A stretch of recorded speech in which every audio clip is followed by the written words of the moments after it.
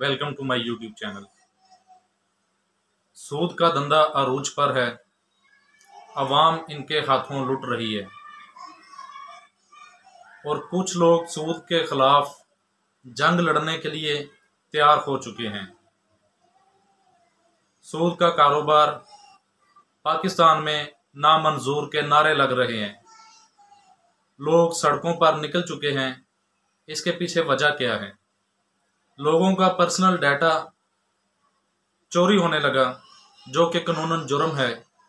और जितनी भी लोन देने वाली ऑनलाइन लोन देने वाली एप्लीकेशंस हैं, इन सब का काम ये है कि ये लोगों का पर्सनल डाटा चोरी करते हैं और अपने पास महफूज करते हैं। बाद में लोगों को डराया धमकाया जाता है। उनके फैमिली मेंबर्स को, उनके घरों में कॉल्स की जाती हैं। उनकी गैलरी की पिक्चर्स को लीक आउट किया जाता है और उनको धमकियाँ दी जाती हैं। पाकिस्तान की आवाम इस टाइम तकरीबन साढ़े तीन करोड़ से ज़्यादा लोग इन ऑनलाइन लोन देने वाली एप्लीकेशन के मकरूज हैं। ये लोन सिर्फ़ एक दफ़ा देती हैं। उनके बाद अवाम का ही पैसा होता है, जो अवाम के ऊपर ही लगता रहता है इंटरेस्ट के शक्ल में। लेकिन गवर्नमेंट अभी तक कोई एक्शन लेने के लिए तैयार नहीं है। आवाम सड़कों पर निकल चुकी है। बहुत से शहरों में लोग इकट्ठे हो चुके हैं। बहुत से लोगों के ग्रुप्स बन चुके हैं जो एहतजाज करने के लिए तैयार हैं। क्योंकि एहतजाज करना हमारा कौमी और आइनी हक है। जब भी किसी इंसान पर जुल्म होता है, चाहे वो कोई अदारा हो, चाहे वो कोई कानून हो किसी भी इंसान पर, पाकिस्तानी इंसान पर जब जुल्म होता है तो एहतजाज करना उसका कौमी और आइनी हक है। लोग इस बात पर अब इकट्ठा होना शुरू हो गए हैं कि इन लोन देने वाली एप्लीकेशनों ने बहुत से लोगों की ज़िंदगी को तबाह कर दिया है। अब ज़िंदगी को तबाह कैसे किया है? मैंने काफ़ी दफ़ा आपको मैं बता चुका हूँ कि ये लोन देती हैं। अब मान लें कि एक बंदे ने पच्चीस हज़ार का लोन ले लिया। एक महीने का कंपनी ने उसे टाइम दे दिया। एक महीने के बाद छः हज़ार उसके ऊपर लग गया इंटरेस्ट वो हो गया इकतीस हज़ार। अब उस बंदे की अगर सैलरी है पच्चीस हज़ार तो छः हज़ार वो किसी से उधार पकड़ेगा। इकतीस हज़ार पूरा करके इनका लोन इनको वापस कर देगा। लेकिन उसकी सैलरी भी चली गई और छः हज़ार उसने किसी से लिया, वो भी चला गया। अब वो नेक्स्ट मंथ उसकी सैलरी आनी है। उसने अपने घर के सिस्टम को कैसे चलाना है? मजबूरन वह दोबारा लोन लेने की कोशिश करेगा। जब उसके बच्चे भूखे होंगे, जब उसके घर के बिजली का बिल अदा करना होगा, जब उसने घर का रेंट देना होगा, वो दोबारा लोन अप्लाई करेगा तो दोबारा फिर उसे पच्चीस हज़ार ही दिया जाएगा। और जिसके ऊपर उसने इंटरेस्ट लगा लगा के वापस जो उसने करना है, वो है इकतीस हज़ार। छः हज़ार का वो पहले एक मंथ में मकरूज हो चुका, और छः हज़ार का वो नेक्स्ट अगले मंथ में फिर मकरूज होगा। इस तरह करते करते लोग लाखों रुपए के मकरूज हो चुके हैं और जिन्होंने पे नहीं किया, उनके ऊपर इंटरेस्ट लग लग के उनका लोन जो वो लाखों तक चला गया है। अब अगर इन एप्लीकेशंस के ऊपर एक्शन ना लिया गया तो एक टाइम ऐसा आ जाएगा कि पाकिस्तान के ऊपर टोटल जितना कर्ज है, उससे ज़्यादा कर्जई हम इन एप्लीकेशंस का हो जाएँगे। पाकिस्तान के ऊपर जितना कर्ज हम पाकिस्तान पर है, हमने कर्ज देना है आईएमएफ का देना है अमेरिका का जितना भी। उनसे ज़्यादा कर्जई हो जाएँगे। हम इन एप्लीकेशंस का, अवाम इन एप्लीकेशंस के कर्जई हो जाएँगी। ये एप्लीकेशन पाकिस्तान में लोगों को दीमक की तरह खा गई हैं। लोगों को लूट रही हैं।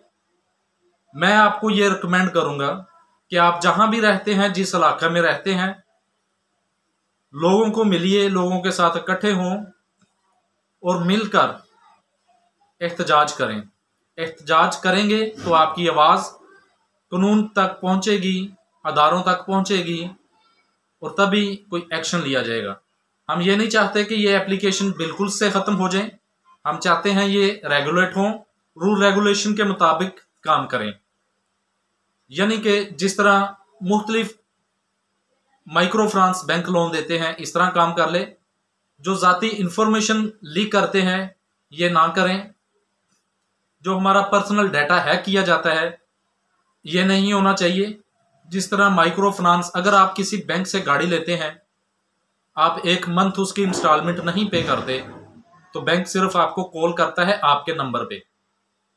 और वो बड़े अदब से आपसे कहते हैं कि, सर, आपकी इंस्टॉलमेंट नहीं आई। आपने गाड़ी ली, उसकी इंस्टॉलमेंट नहीं आई।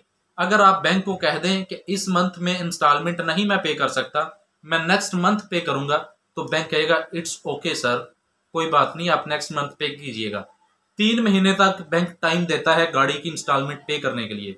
अगर तीसरे महीने भी आप गाड़ी की इंस्टॉलमेंट पे नहीं करते तो बैंक आपके घर में नहीं आएगा, आपके फैमिली मेंबर को कॉल नहीं करेगा, आपके डाटा को हैक नहीं करेगा, वो आपकी गाड़ी को जस्ट गाड़ी को जब्त कर लेगा।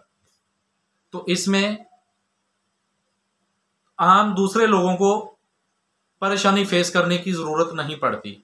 देखें बैंक ने टाइम दिया, पहले महीने उसने कहा, कोई बात नहीं, आप नेक्स्ट मंथ दे दें। दूसरे मंथ नहीं दिया तो तीसरे मंथ बैंक ने कहा नेक्स्ट मंथ दे दें। अगर फिर भी आप नहीं देंगे तो भाई फिर तो आपका कसूर है ना। फिर वो गाड़ी तो पकड़ना उसका हक बनता है, वो ठीक है। लेकिन यहाँ पे क्या होता है? यहाँ पे अगर कोई लोन लेता है, पहली बात यह है कि ये ऐसा होता ही क्यों है कि लोन आपको छह से सात दिन के लिए मिलता है? ये कब से ये कानून बना के छह सात दिन के लिए लोन देना स्टार्ट किया जाए? और अगर सात दिन के लिए लोन मिला है तो छठे दिन आपको कॉल आना शुरू हो जाएँगी कि आपका, अपना जो लोन है, वो जल्दी से हमें पे कर देने तो हम आपके फैमिली को फ़ोन करेंगे। और इतने बेखुदा लोग, इतनी बदतमीजी के साथ बात करते हैं, जिनको तमीज ही नहीं, पता नहीं कहाँ से ये लोग आए हैं। तो मैं यही कहना चाहूँगा, मुतहिद हों इकट्ठे हों, इन एप्लीकेशंस के ऊपर आवाज़ उठाएँ मिल के एक आवाज़ हों, और पाकिस्तान को इस मुसीबत से, इस दीमक से बचाएँ, नहीं तो पाकिस्तान का बहुत बड़ा नुकसान होने वाला है। अब बहुत से ऐसे गवर्नमेंट जॉब करने वाले लोग भी हैं, जो लोन लेते हैं, जिनका मोबाइल भी हैक होता है, जिनमें कुछ एहसास, दस्तावेज़ हो सकती हैं पाकिस्तान की तो वो सारा कुछ इनके पास जा रहा है। इनका ना कोई ऑफ़िस है, ना कोई अदारा है, ना हम इनसे जाके मिल सकते हैं। एफ़ आई ए को अगर रिपोर्ट करवाएँ हाईकोर्ट में अगर पटिशन दायर करवाएँ तो वो कहते हैं, हम नोटिस कहाँ पे भेजें? कहाँ पे बैठे हुए हैं? ये किसी को पता ही नहीं है।